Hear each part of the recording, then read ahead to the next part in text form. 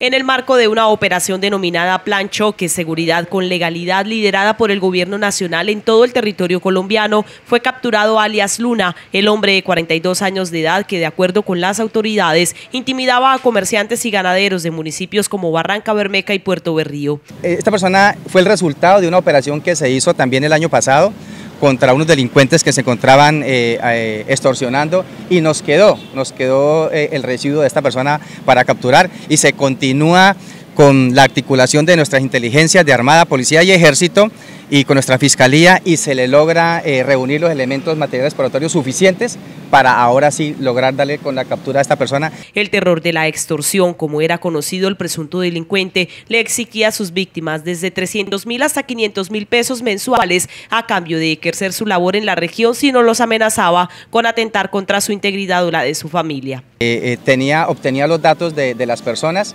y mediante llamadas extorsivas eh, ejercía esta actividad delictiva. Este resultado operativo se dio en medio del programa nacional El que la hace la paga, que se extenderá por 100 días y pretende combatir la delincuencia en todos los rincones del país. manifestarle a la comunidad que hay muchas formas de denunciar.